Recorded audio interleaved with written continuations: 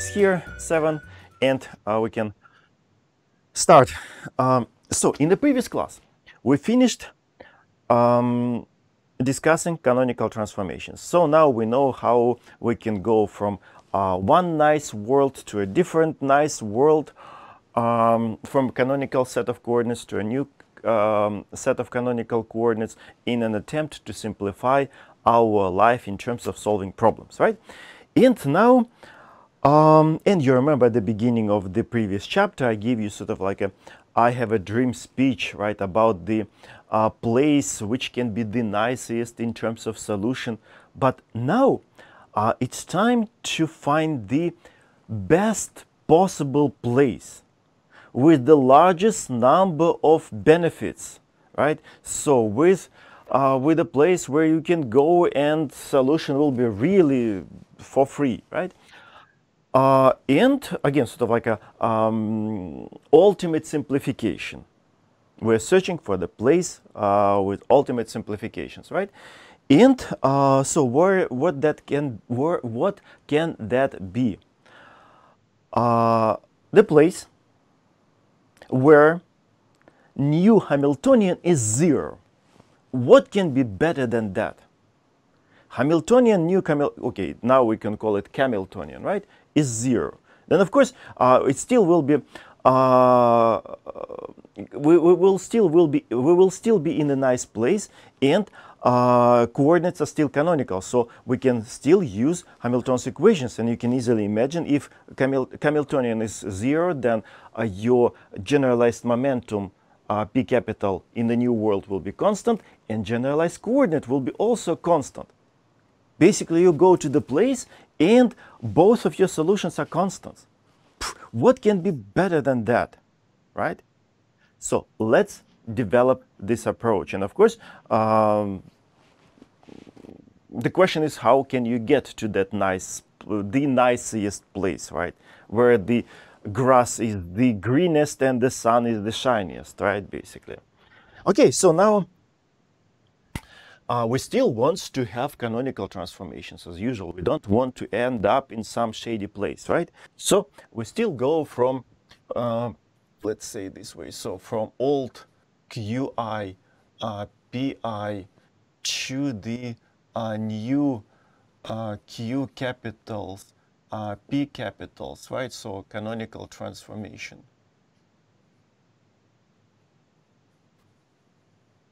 Transformation, right? And uh, of course, uh, we know how to handle the oh, conservation of brackets violated. Right, and we know what happens uh, with uh, Hamiltonians. So if we have uh, H Hamiltonian in the new in the old world, then the new world uh, Hamiltonian in the new world can be found by taking the old one and plus partial derivative of the generating function right? Partial derivative over a generating function, right? So basically, a generating function generates transformation, uh, which leads you to the to a new uh, world. Okay, so and as I as I told you, the ultimate simplification. Okay, so I can say we we want uh, to find or to choose a generating function because every time we will have to go through the generating function in order to end up in a nice place, right? In a nice place. And on top of that, we want to have Hamiltonian to be zero, right? So we want to uh, choose f generating function, right? Um, so that, okay, which way I wrote it? So that, so that um, k equals to 0 so that uh, k equals to 0. And let me write down ultimate simplification. Ultimate simplifications. So it basically means we cannot do any better. This is the best place, right? Okay, so now if we want this, uh, Hamiltonian equals to uh, 0, right? So now uh, let's uh, look what will be the solution in that world. Right. Okay, maybe I will write it here, right, underneath uh, here. So as a result, it's still a world of canonical coordinates, so we can use our Hamilton's equations. Uh, so the first one, qi uh, dot equals to partial derivative of, oi, not hk, uh, k. With respect to uh, pi, and since k equals 0, right, since this is 0, uh, we can write immediately. So the derivative is 0 and our uh, generalized coordinate in a new world will be constant. We can go to that place and we can tell even before going to that place we can we can tell immediately okay the generalized coordinate will be constant. In the second transformation, the second uh, Hamilton's equation, pi dot equals to minus partial derivative of k with respect to uh, qi, and again it will be zero since Hamiltonian is zero. And again, the same story. I can say, yeah, we can say that uh, generalized momentum also constant. Of course, it will be a different constant, but constant, right? So this is the best place. So you go there and you don't need to uh, search for a solution. Constant. So pretty much uh, solving problem will be not actually in solving the problem. It will be all in traveling from the old world to the new world and then going back, right?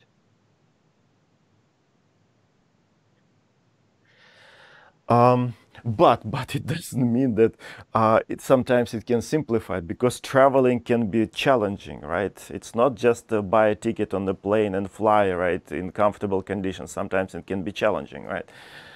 Um, okay so and uh, so pretty much the whole uh, story is in this equation. So since we want k equals to be 0, so we have to deal with that. So let me write that explicitly.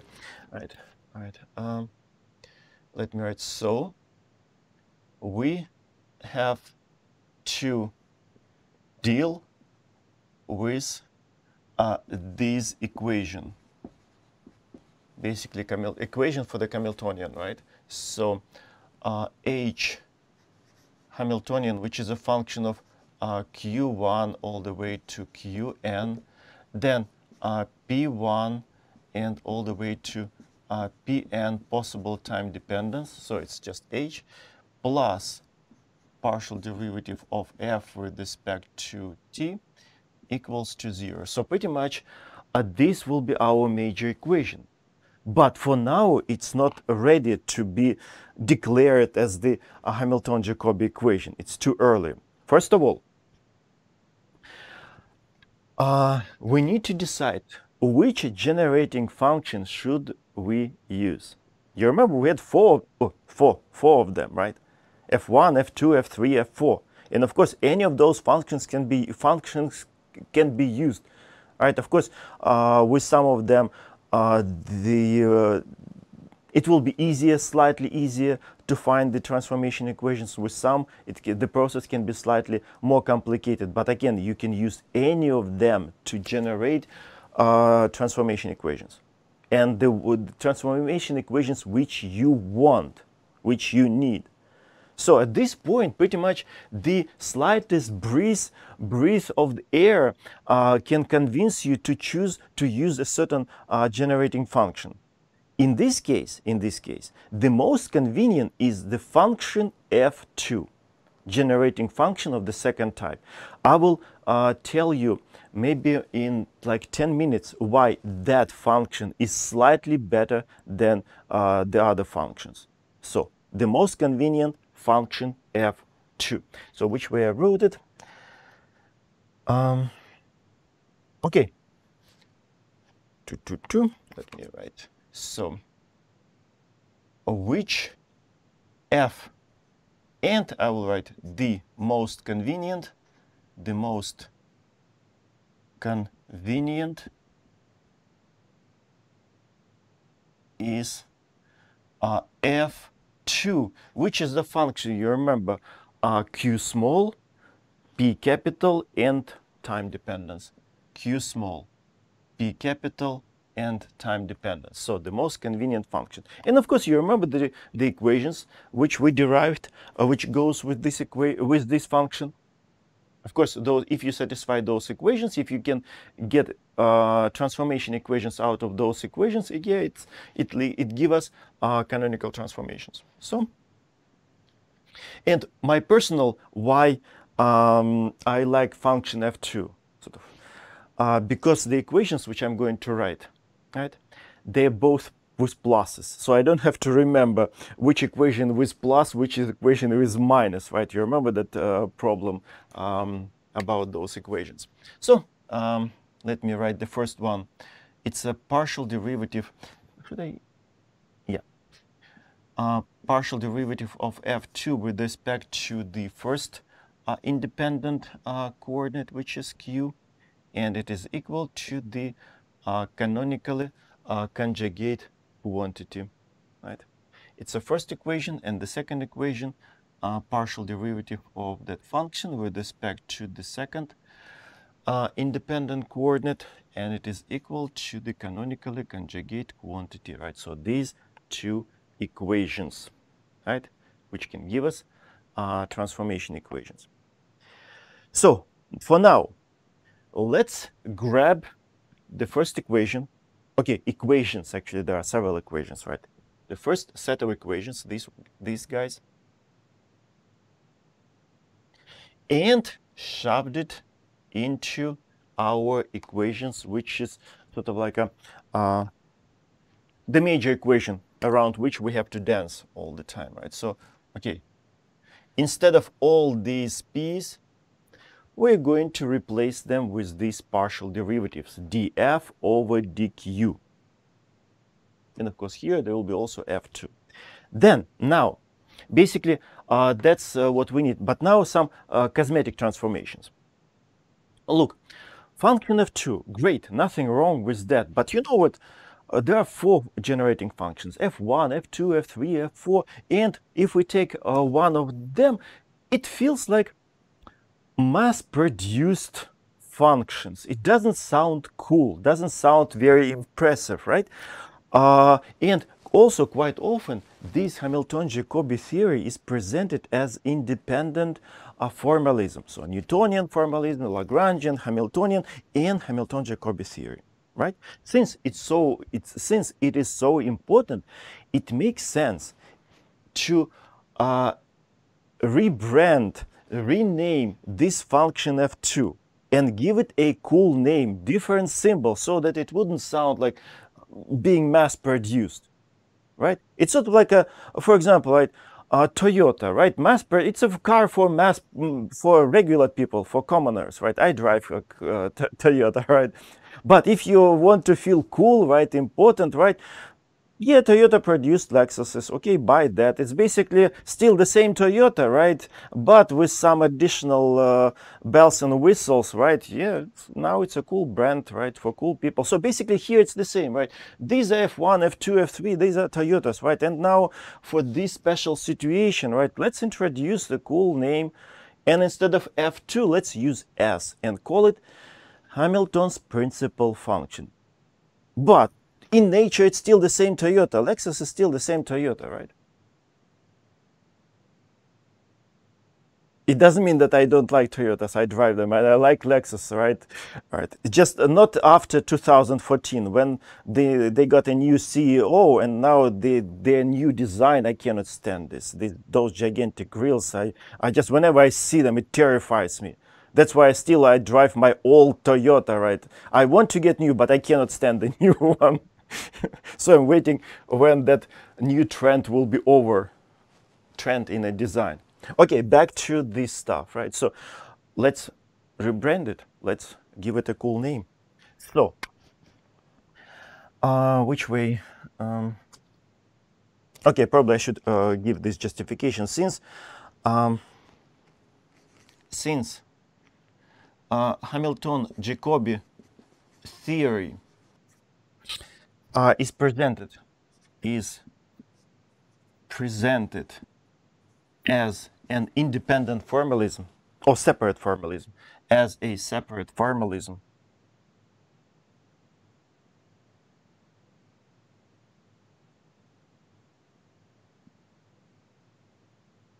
right? Uh, so let's rename. So let's rename. But again, nature is still the same. It's still a generating function. So let's rename f2, which is a function of q, p capital, and t, uh, into s, which is of course still the same uh, function of q, small p capital, and t, and call it Hamilton's principal function.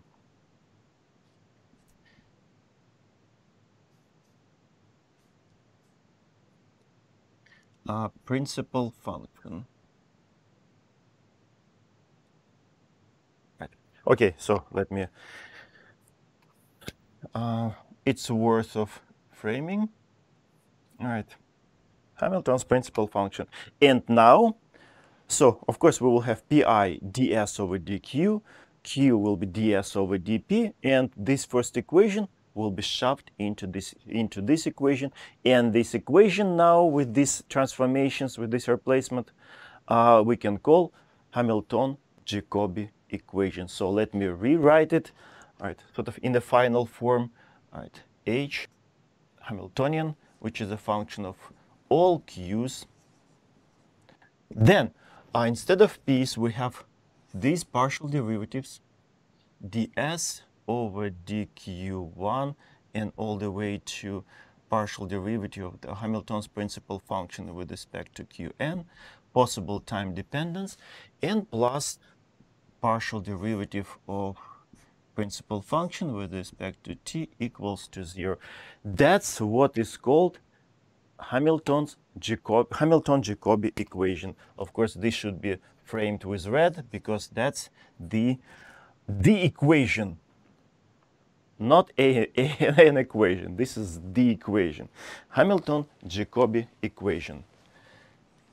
Hamilton-Jacobi equation.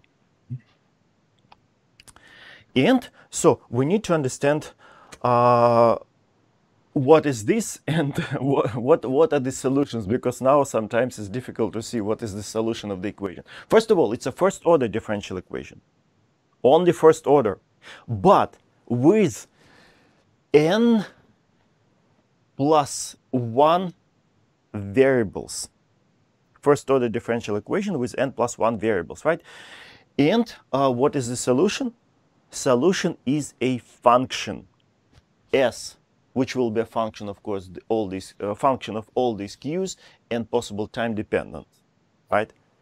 And of course, since we, we will have to integrate it uh, how many times? n plus 1.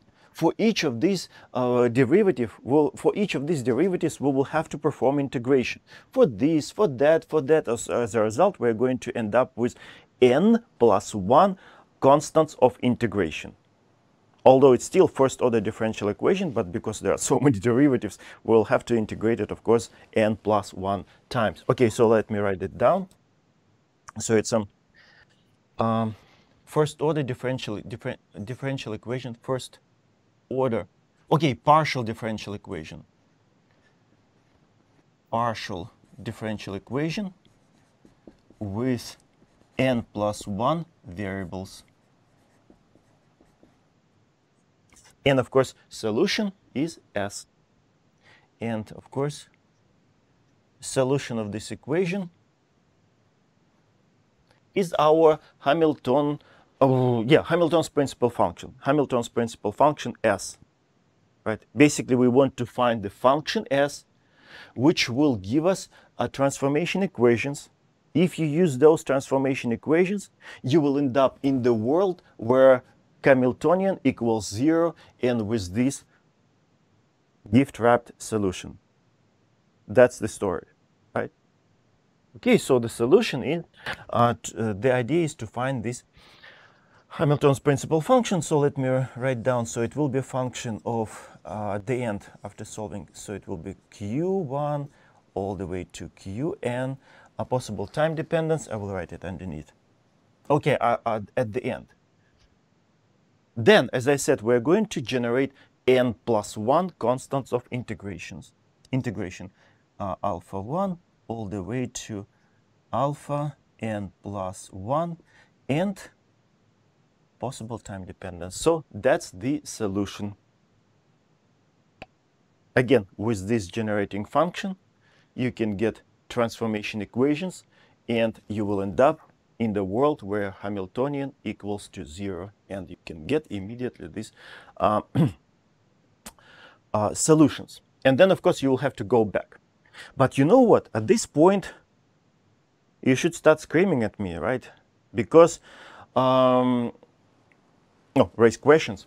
Because we used only one equation, right? But in order to guarantee that you will end up uh, uh, doing canonical transformations, you have to satisfy both of them.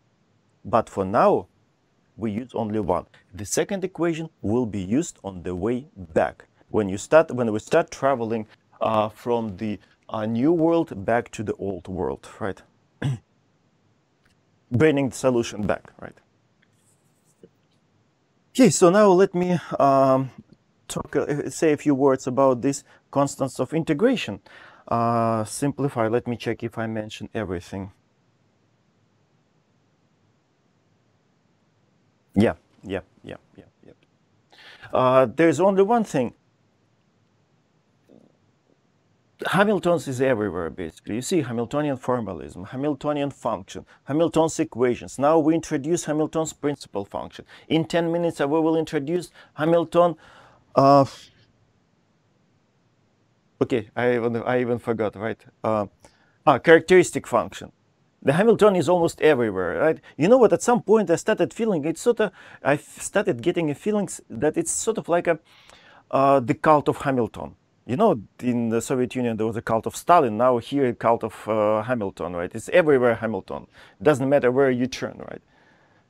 Really, such, a strong feeling. like a guy obsessed with his name. like I used to have a friend, he um, in programming used a sub a sub program, sub VIs, and he used to use his names to name them, right? John 1, John 2, John 3, and so on. All right. Okay, so now uh, back to these uh, constants.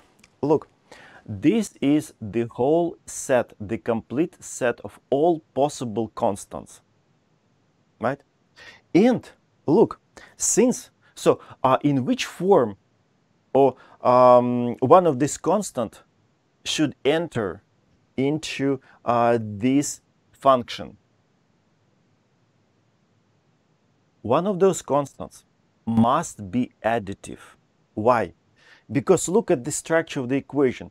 S function enter, enters in this equation only in the form of these derivatives. There is no s explicitly present somewhere without a derivative, right?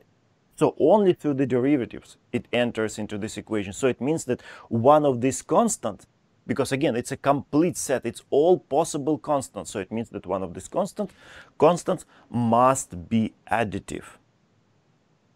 Right? So it will be here somewhere we can add plus, for example, alpha n plus 1. But if you have an additive constant, should we keep it? look, what are we going to do with S after this? We have to go here to these equations to get transformation equations. And again, we, have, we will have to differentiate that S with respect to this Q and P. So that additive constant will disappear anyway. It will, uh, yeah, it will disappear.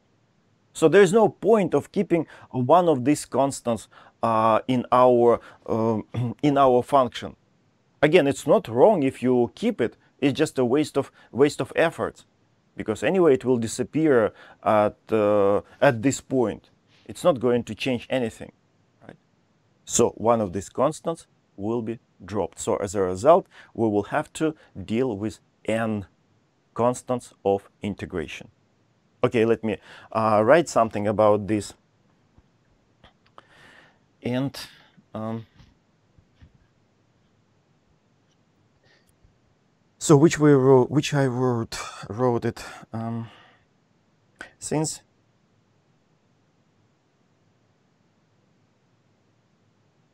okay. Mm. Since s that function um, okay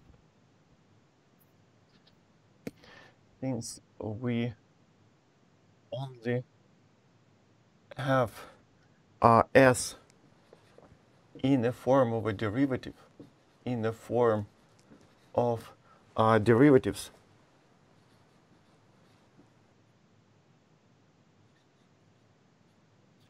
one of constants, one of uh, constants must be additive.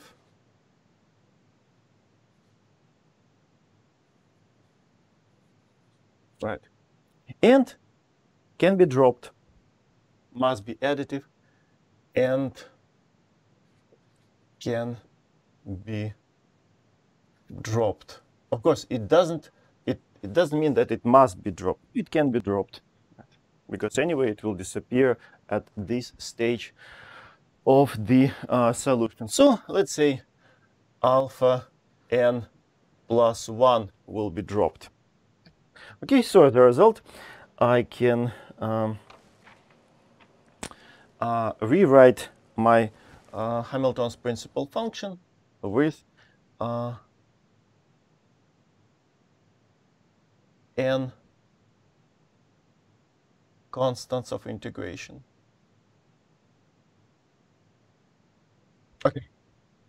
Okay, usually I put dot and comma between different sets sets of um, variables. Now, the trickiest part.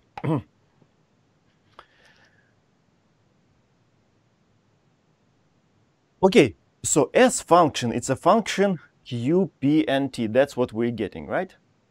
So again, let me remind. So um, which way I wrote it? Uh, we want basically we search function S. Uh, for we want to get S, which is a function of Q i's, right? Uh, then P. Yeah, P capital. Yeah, yeah, P capital why I'm doubting myself, right? Uh, P capital and T. So that's what we want, right? Eventually. That's what we get from the equation, from the Hamilton equation. We assume that we can, we solved it, right? And that's what we want to get eventually, right? And what else do we know about, about this function, about these variables P, P capital? Basically, these are generalized momenta in the new world. With this S, Hamiltonian will be zero, and our generalized momenta are constant.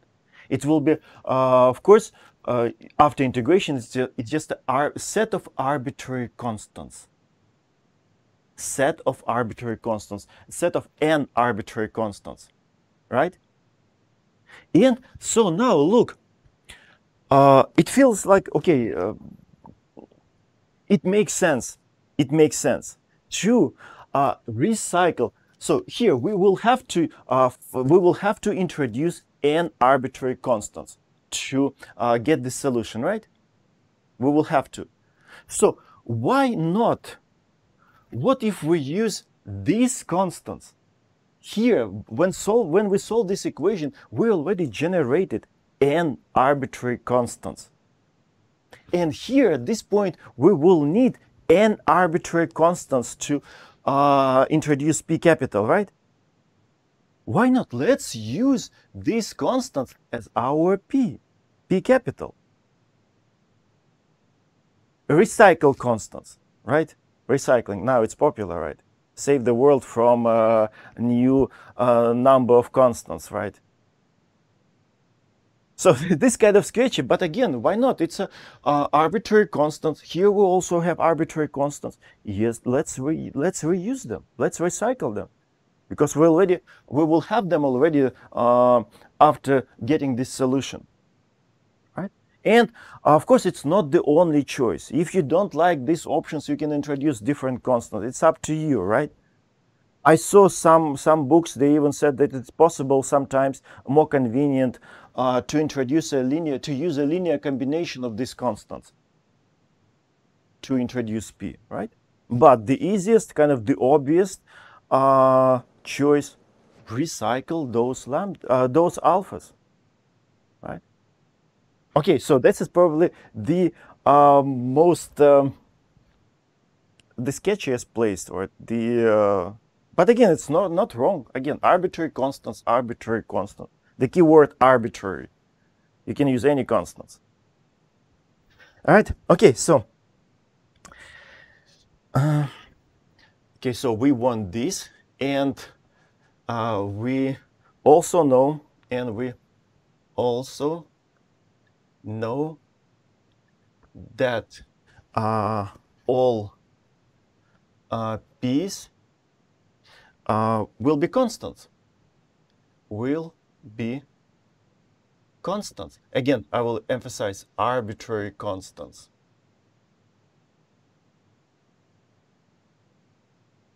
Right? So let's use, let's recycle.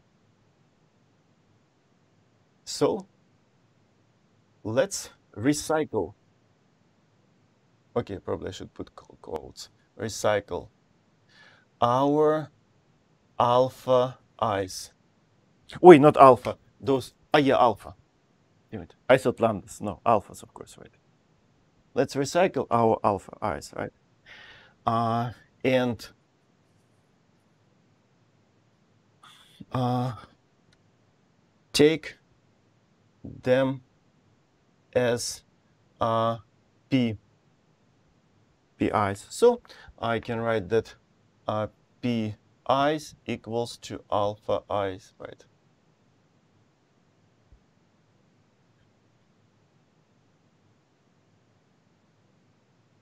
Okay, so now uh, we, again, we assume that we solved Hamilton-Jacobi equation, so we have that function, right? And uh, now, of course, you can guarantee that in the new world Hamiltonian is zero, and of course, as a result, we can write down the solution. Solution in the new world, of course, right? So now, uh, with this S, which we wrote it, uh, K equals to zero. With this S, we know, we can be confident that you end up in the world where K equals to zero. And of course, these solutions, solutions, yeah, probably I will rewrite one more time quickly. So q dot i equals to partial derivative of k with respect to uh, p i equals to zero. So of course qi equals to a constant. Uh, let's call it betas, for example. Since we use alphas for p, let's use betas here, right? So beta i, and of course these are constants, right? And of course, the second uh, Hamilton's equation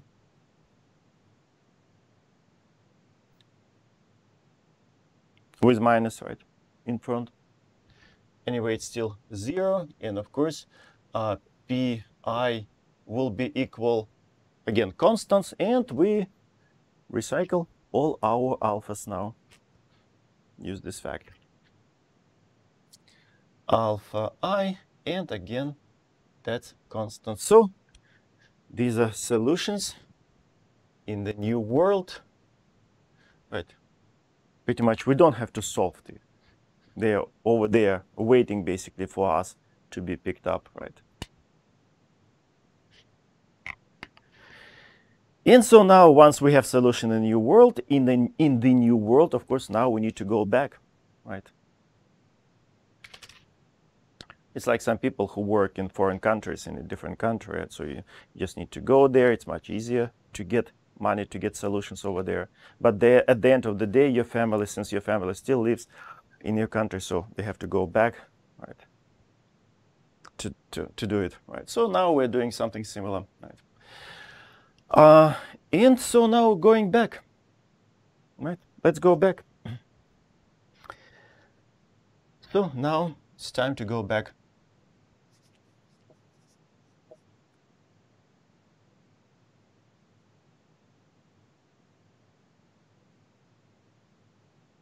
So time to go back home, right? Driving home for Christmas, right? Like in that song. All right. Um, and now, again, you still remember we haven't used this equation. We have to satisfy this equation, otherwise we wouldn't be able. Uh, we wouldn't be able to um, guarantee that you were in a nice place, right? So now, only now on the way back, we will satisfy this equation. So strictly speaking, since we haven't satisfied this equation up to this point, I, I wouldn't be uncomfortable to tell that I know exactly where I was. because the second equation will be satisfied only now. You see how sketchy everything is, right? But still, since will, it will be satisfied eventually, right? So everything will be adjusted, right? So you will end up with an, in a nice place. Okay, so now, um, now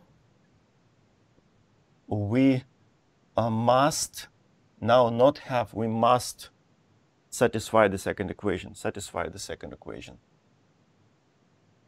Satisfy the second uh, equation, which is this, right? So on the way back, so uh, qi equals to partial derivative, and of course it's a s. We remember rebranding, renaming.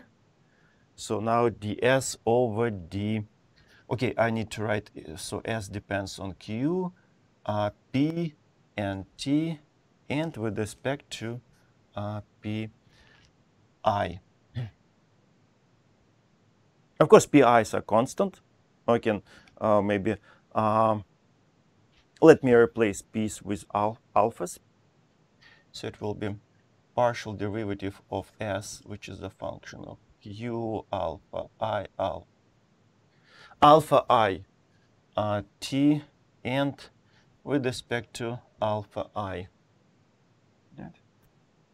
And so now, of course, we don't know, we don't have explicit uh, structure of S. So, but anyway, look, after uh, differentiating, right, properly, then what you will have? You will have Q, here we have Q uh, capital, right? And Q capital is what?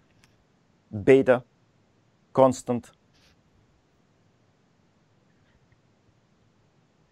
beta i right so we have only q present and then constant and constants of course after differentiating with respect to alpha you will still have those constants alphas right so what do you have to do now in order to get back to the old world invert this equation and write it in terms of q small of course it will be q small function of uh, alphas, betas, and time. So basically now it's just an inversion. It's just algebraic, uh, okay, not simple, but algebraic operation, uh, uh, procedure, algebraic procedure. So now you just need to uh, invert it, invert, oh, turn this equation inside out, and you will get immediately how coordinates in the old world depends on time. And we have uh, all necessary constants of integration to n. So it will be uh, qi, which is the function of, you know what? Yeah, I think I should be able to fit over here alpha i, beta i, and t. So now, yeah, after this, we will we satisfied the second equation as well. So it means that we were we were in a nice place, right? Not in some shady. And so now I can sort of justify the advantage of using function f2 in all these uh, formalism in this procedure. And that smallest argument which uh, convince people to use function f2, it's here. Because in this first step, on the way back by simple, okay, simple differentiation and then simple inversion, you can get immediately the uh, evolution of the system. You can see uh, how coordinates changes with time. And of course, constants of integrations, those are basically initial conditions. So because of this step, function of 2 was uh, chosen. Because immediately you will get uh, what happens with position of the system, and that's what most of the time you want to know. Right? Of course, you still, if you're still interested in uh, momenta, if in generalized momenta, yeah, we still have the second equation, so we can uh, apply it, invert it, and get how p depends on uh, time and uh, constants of integration, right? and uh, another thing, of course, I will write, uh, I will apply the second equation. Uh, constants of integration, right? Of which we will find, okay, if you need, if you want, right? Uh, which can be found using initial conditions, right?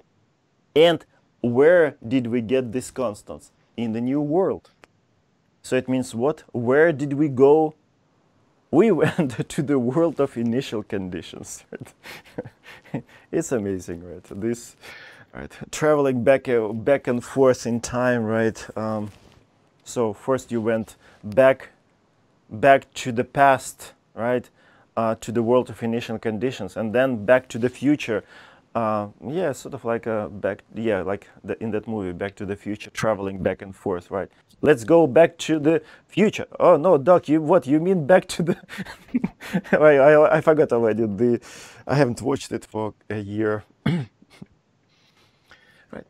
Okay, so um, the uh, second transformation equation. So let's let's let's let's look at that. So now it's a p small. P small. And you know what? What mesmerizes me every time when I get to this uh, part, to these points, right? It's all was it. All of this was done in, I think it according to its uh, book 1834, basically beginning of 19th century. What was the driving force to develop all these crazy theories, right? They were just riding horses, right? Uh, most of the world was just farmers, right? Uh, killing each other with, I don't know, with the uh, arches, right? What was the driving force? Okay, I understand, for example, why uh, what uh, UMass Lowell originally was created because there were textile mills, right? They needed workers, right? Qualified workers. They didn't want to waste the time of uh, engineers and workers uh, uh, to educate some young generation. So they sent bunch of retirees, right, to a separate place and told them, okay, educate these guys and then uh, they will come to us. So because there was a driving force, textile industry. Then, of course, when textile industry died, university started broadening the horizons, and it was, and they changed the name, so it was no longer a Lowell Textile Institute. They renamed it to the university, right? But what was the driving force behind this? Every time when I get to this point, uh, it, it blows up my mind, right? Like something is. Hmm. But anyway, fascinating, fascinating, really and there was a, no NSF which would give you money. Okay, do and go and uh, do something, right? They were lucky if the king would decide to give some, some, some, something, right? okay. Anyway, all right. So finally, let me um, apply the last this uh, equation. So it will be partial derivative of s, which is the function of uh, q, p, and time, right? And with respect to qi, right? Right. Of course, instead of p, uh, maybe I, I should write probably, no, uh, let me write the next step. A partial derivative of s, of course, q's, nothing can be done. Instead of p's, we can introduce our alphas And in order to get how p, that's what we want, that's our old world parameter, right? As a function of t, we just need to get rid of this q. So after you differentiate with respect to q, after differentiation, you will grab this, which you got from the previous step, and replace those q's. So as a result, you will get how p depends on time. But of course, after differentiating it. So now, and as a result, you will end up with what? Uh, pi will be a function of uh, these constants of integration and time dependence. So we are back with the solution. Again, you see basically we didn't solve the problem. We just traveled struggling, suffering.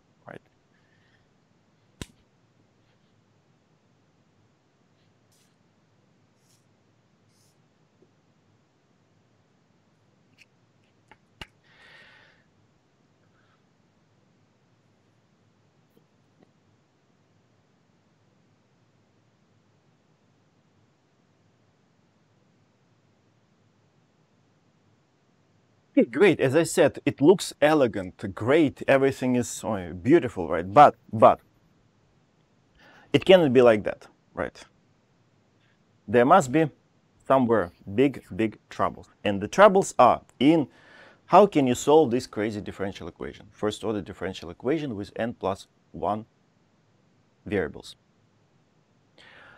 And in general, solving this uh, Hamilton-Jacobi equation uh, can do some irreversible damage to your brain. Really, it's really, really uh, complicated, right? It can be really, right? Unless, unless you can separate variables. Only in that case, this, uh, this equation can be solved. Otherwise, probably it's easier to stay in the old world and solve the problems in the old world instead of uh, trying to solve this Hamilton-Jacobi equation. So sometimes, of course, it can be ridiculously complicated, but sometimes it actually it can it can help, right? Okay, so uh, let's um, discuss all possible situations uh, in an attempt to separate variables. So let's uh, let's look at the case, uh, and of course, all our examples are going to be about uh, separation of variables, right? Otherwise, this problem this method uh, will be really, really complicated, right? So, okay, let me check if, yeah, this is done, done, done, done. And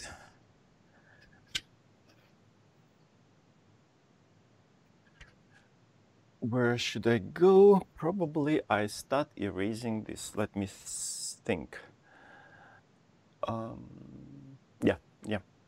I, we will need basically from this point, we will just need all the time only these transformation equations, which we remember, and Hamilton-Jacobi equation, which is easy to remember because we remember from the canonical transformation this, right?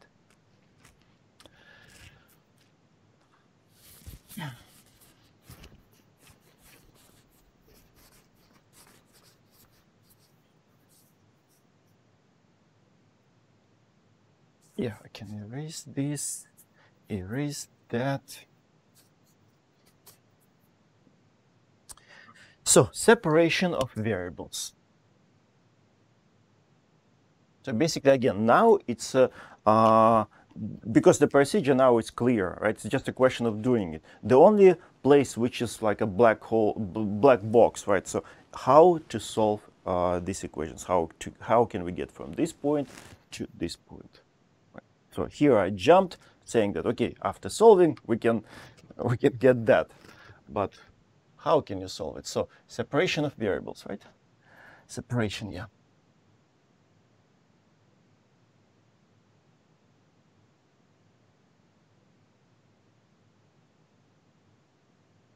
Okay, maybe I will emphasize in Hamilton, Jacobi, of course, equation. So basically, now practical uh, questions, how can we solve that uh, differential equation?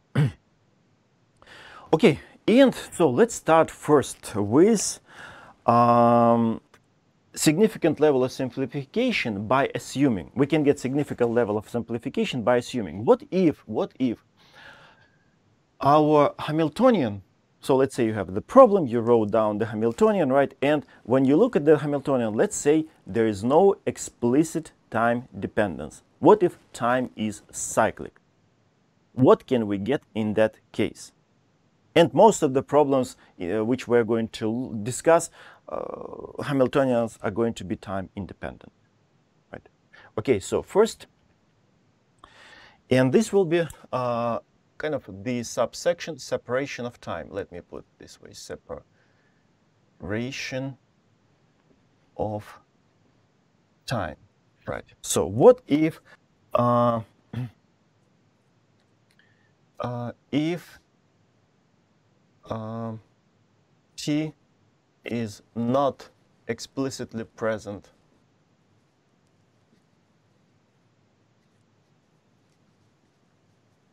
in H. Not explicitly present in H. So basically, I can write that H yeah, is not a function of uh, time. Right? Okay, so now uh, Hamilton-Jacobi equation. Let's write it down. So it will be Hamiltonian, which is a function of uh, q's, qi.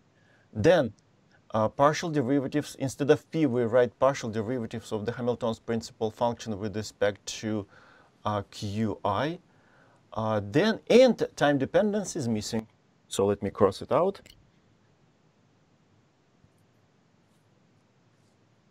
And plus partial derivative of s with respect to time, right? Basically, it's a Hamilton-Jacobi equation. Partial derivative of s with respect to time and equals to zero. So that's what, what that's what uh, we are uh, supposed to have. Okay, and you remember like all the time when you separate variables, you said at this point you, you're supposed to say, let's search for a solution, and solution is S, in a certain form, and then you'd grab that uh, candidate and shoved it in, into your equation and see if you, if you can actually separate them, right? So that's how it works, and that's uh, what you did in quantum mechanics when you were okay. You, you will did when you are going to solve um, Hamiltonian uh, to describe uh, hydrogen atom, right? Okay. Uh, so uh, let me write. So let's search for a solution. Let's search for a solution in this form, in a form. All right, so uh, again, solution is S, which is the function of uh, Q, uh, then yeah, Q, uh, time and uh, constants, constants will be later. Constants will be later, right? So it will be uh, W it's a function which depends only on coordinates. q1, q2, and so on all the way to qn. And uh, let's assume that some there is a some function, let's call it s2, which is a function of time only. Again, it's not a crime if you say, okay, let's search for a solution in that, unless, or if you want to, uh, if it works, okay, great. Right, okay, so at this point, of course, we need to shove it back into the equation, of course, right? And as a result, you will end up h will be a function of qi. Uh, of course, ds over dq will give us only dw, give us dw over dq, dw over dq. You know what? Whenever I pronounce dw, it reminds me a certain character. Right, you remember the cartoon on PBS Arthur right? I see you started smiling, right? It's just when I was taking classical mechanics when I was a student, right? And I, we also had a class at 11, and I would usually I would usually have a breakfast, right? And I would turn on TV, and all the time at that time there was a uh, that cartoon Arthur, right? And every time, hey, DW, that's a little girl character. so now, whenever I pronounce DW, immediately it creates those images in my brain, right? It's a really, really irreversible damage to my brain. PBS created. I need to sue them, right? right. Of course, I'm joking, right? Um, so DW. Oh, damn it! Very, very strong associations, right? And then, of course, now instead of s, we will have s2, which is a function of time. Because, yeah, this will give us 0 when you try to differentiate with respect to time, plus ds2 uh, with respect to time equals to 0. Okay, you know what? Just now, um, yeah, it's fine, it's fine. Because you remember w depends on q, this depends on time. So now let's look carefully at this equation. So it's a this construction plus this construction must be equal to zero all the time. And this part depends on what? Only on coordinates, generalized coordinates. This part depends on time. There are no any generalized coordinates over here. So, and of course, this must be uh, true for any q's, for any times.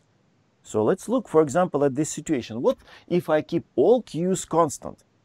And start playing with t. For example, let's say I start increasing t. Yeah, I cannot reduce t. I didn't create it. Uh, I haven't created a time machine, right? So I can only increase time, right? Right. Uh, but in my imagination, of course, we can go back. All right. So if I start increasing time, so this term will start increasing. That stays constant. And how can you keep getting zeros? Impossible. Right. So it's only be correct when this is constant and that will be constant but with minus or that is uh, with plus and that is with minus right?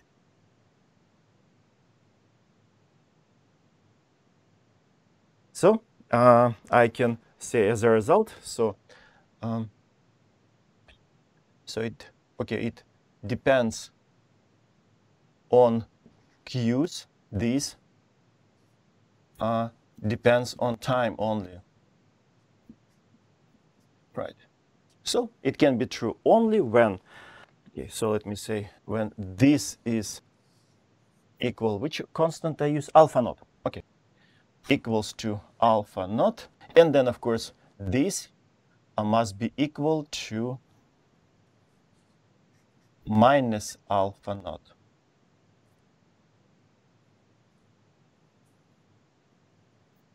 And so as a result, now uh, this, the second part, give us an equation which can be easily solved. And get the value of S2, which allows us to separate time. Only with that value of S2, uh, we can separate time. It works. So this attempt uh, to, find, to search for a solution in this form, it works. We can get uh, the expression for S2, right? So from here, uh, we can get that a partial derivative of s2 with respect to time equals to minus alpha naught. As a result, s2, which is a function of time, equals to minus alpha naught times t. Of course, at this point, you can start screaming, oh, what about the constant of integration, blah, blah, constant of integration. You remember what we've done over here with that additive constant? You remember over here, right? Basically, we were discussing those additive constants which would appear from uh, equations like that. We, we can drop it because every time you will have to differentiate as function when you get it, right? But we're still on the way of getting function s. Right now, it's just a first step, right? And of course, you can get uh, plenty of those additive constants. Of course, you can trust them all, right?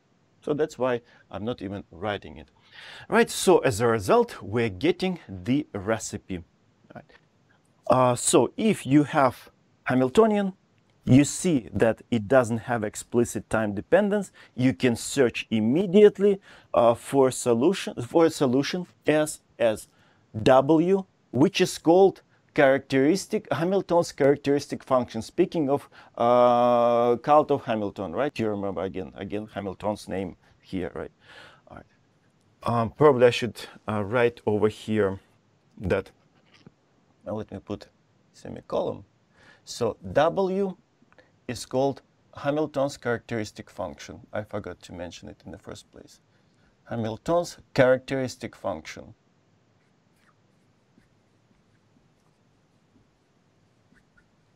Again, if you forget these names, it's not a big deal. But usually Hamilton's principal function, it gets stuck right to your head characteristic, yes, sometimes it can drift away, but it's not a big deal. As long as you, as long as the procedure uh, procedure is correct, right?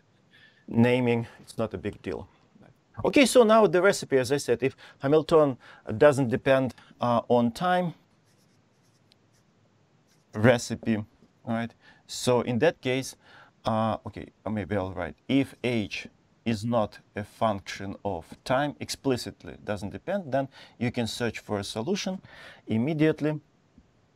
Q uh, T and now alpha naught. So you see now we introduce the first constant alpha naught, right? We can write it as W of UI and minus alpha naught T. Some books, instead of alpha naught, they use E capital because quite often it's just a total mechanical energy, E. And some students, since they read uh, some other books, right, they also use E capital instead of alpha naught. Uh, but again, it's just a constant. The way you name it, it's, not a big deal. So that's the recipe.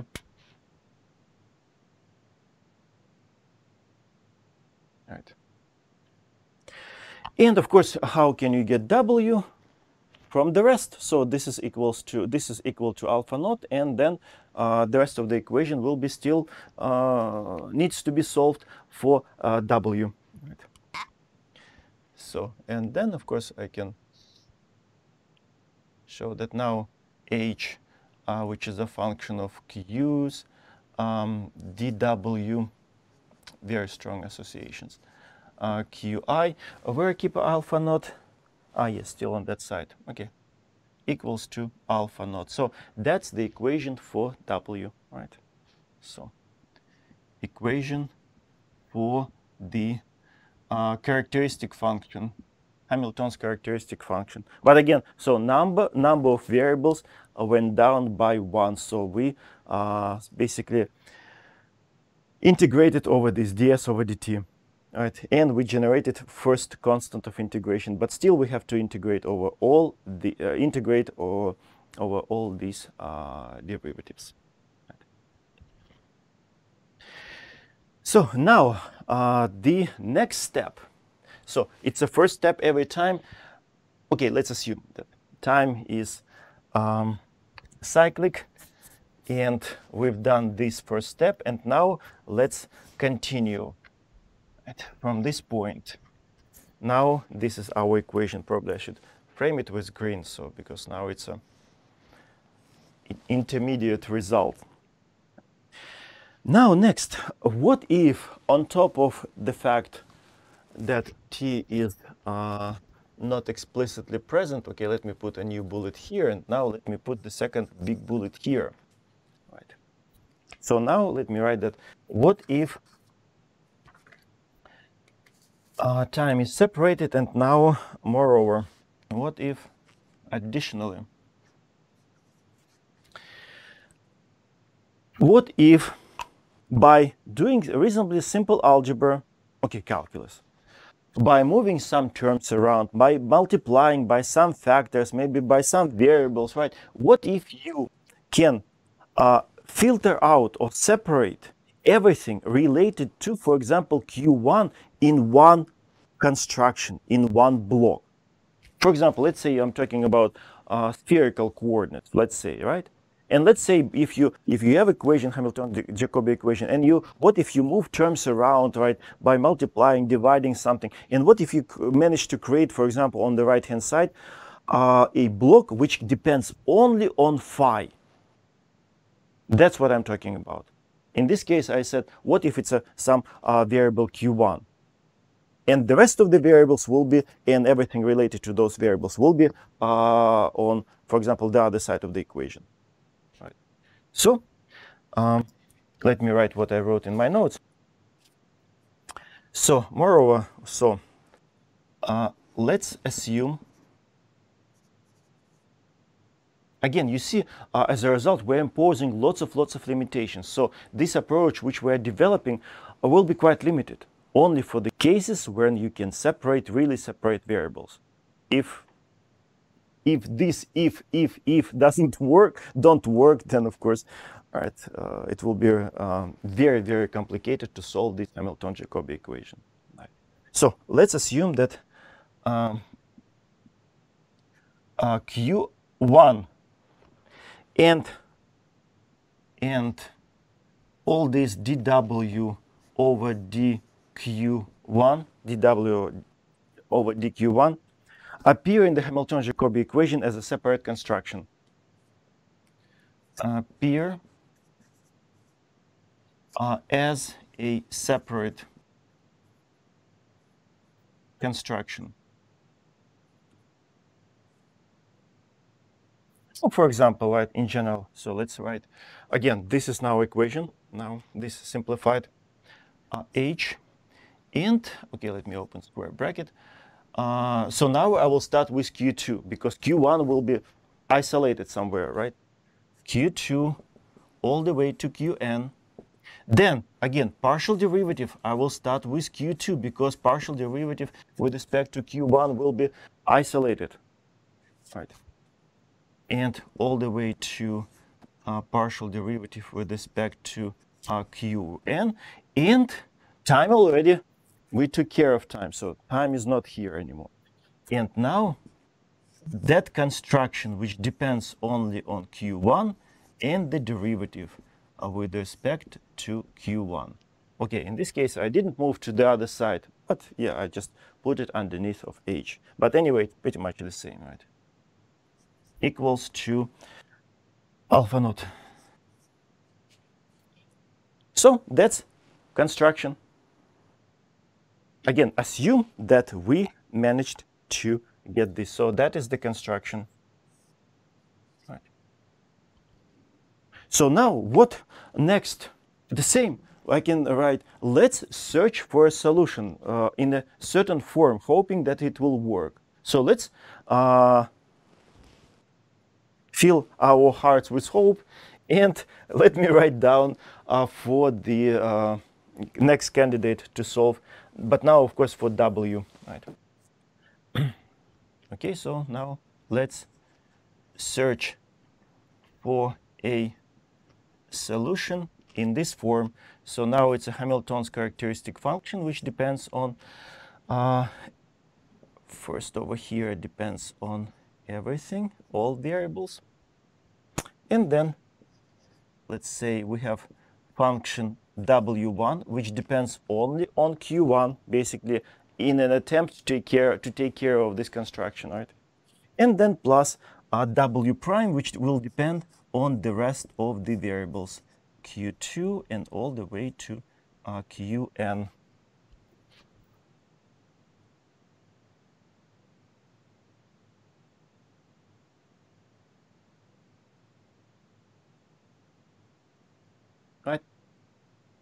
Okay, so now uh, we just need to plug it into the equation like all the time during the separation of variables.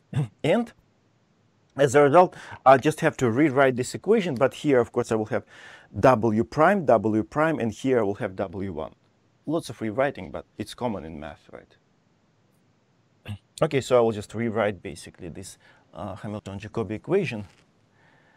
Right. So it will be depends on q2 qn. And then, of course, now I will have here w prime because w prime depends on this, right? And w1 depends on q1. Of course, w1 will be left only there. w prime with respect to q2 and all the way to w prime with respect to qn.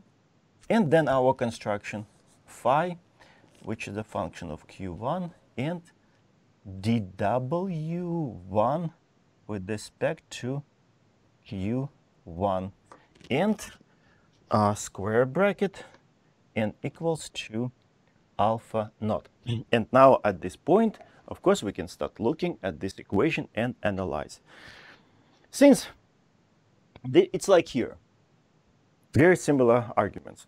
This part, this construction, this part of the equation depends on q, the rest of the q's and their der derivatives okay, derivative, derivatives with respect to them. This part depends only on Q1 and, of course, derivative. Again, I can say, what if I, and again, all the time it must be equal to zero. So if I keep, for example, all those variables constant and start changing Q1, of course, the whole construction will be changing, but it is equal to zero, uh, equals to alpha constant. impossible. Of course, I can change uh, speculations, right? Again, it's only possible that this construction equals to constant when this structure is constant. And of course, that structure will be uh, constant, right? Okay, so as a result, I can say that this must be constant. And since alpha naught has been used already, now let's call it alpha 1. Alpha 1. Right. Okay, so it must be constant. And of course, uh, that will give us an equation for uh, W1. So this will be an equation which can be solved for W1. Okay, yeah, I need to erase this.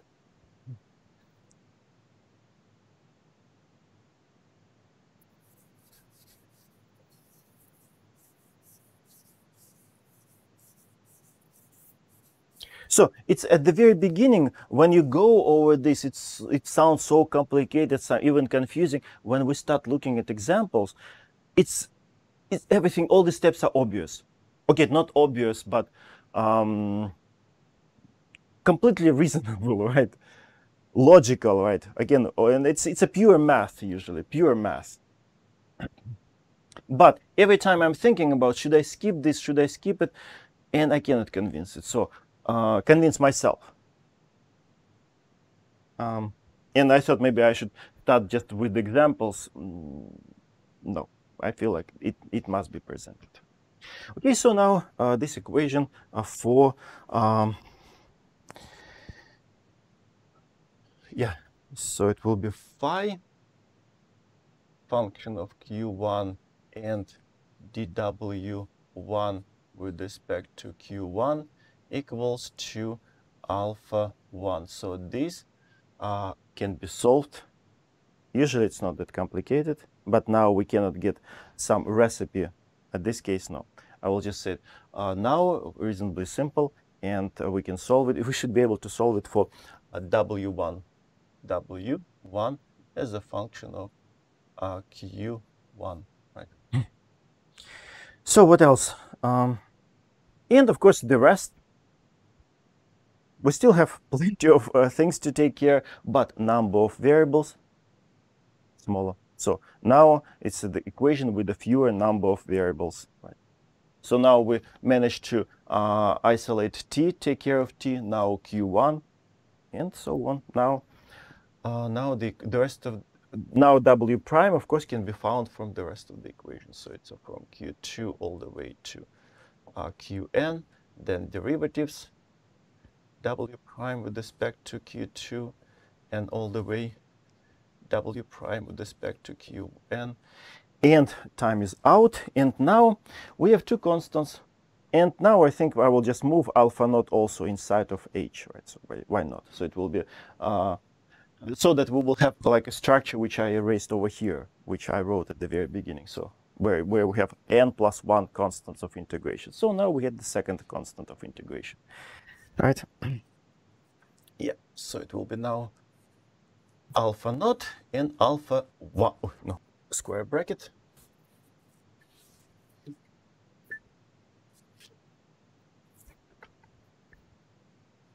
All right.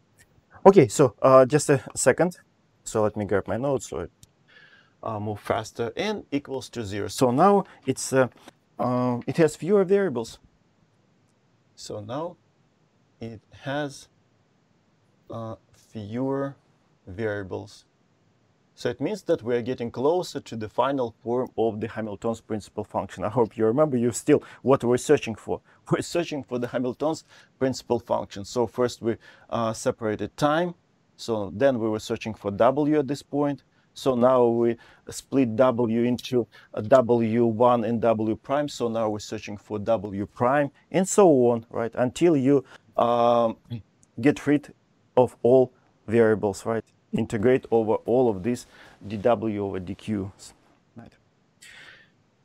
Okay, uh, so now sort of the final uh, step, right? So if we, if we can, okay, so let me write for my notes, separate like this successively all these uh, variables, then all coordinates, then we will be able to get finally S.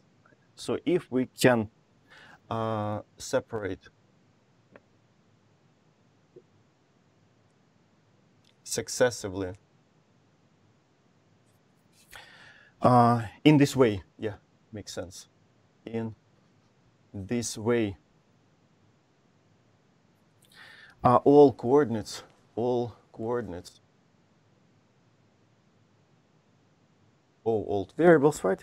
So then at the end, uh, this W, do, do, do, do, do, yeah, this W, and we started taking care, of that. W, of course, will be equal to um, summation over all n's uh, w i's, which depends on qi. So it will be just sum of these w1 first, the second step w2, then w3, and so on. And then you grab this w and shoved it into this pre previous step. And then, then it will go into the Hamilton's principal function. It will be uh, w, right? Ah, yeah, it's w primes. Oh, no, no, no, primes, no, no, no, no, no, sorry, sorry, sorry, sorry. It's a those w's. And plus, oh no, minus alpha, alpha, uh, naught t, where's my recipe? Ah, here. And then minus alpha, naught t, so. So that's the uh, outline, right, of the uh, procedure. Basically, if all these uh, all these q's are not cyclic, but if some of them are cyclic, this process will be somewhat simplified. So next class we will start with um, that uh, that uh, that case. What if, uh, for example, one of these uh, q's are cyclic? What will be different in this in this in this step? Right? And again, for that particular case, we will be able to write down the recipe. So basically, it means that if you look at the Hamiltonian and you see, let's say, R is cyclic, it means that you will be able to, we would be able to use that recipe and um, simplify the equation immediately, right? So that's what it, it will take maybe like uh, 10 minutes to take care of those at that cyclic situation. And after that, we will start looking at the examples.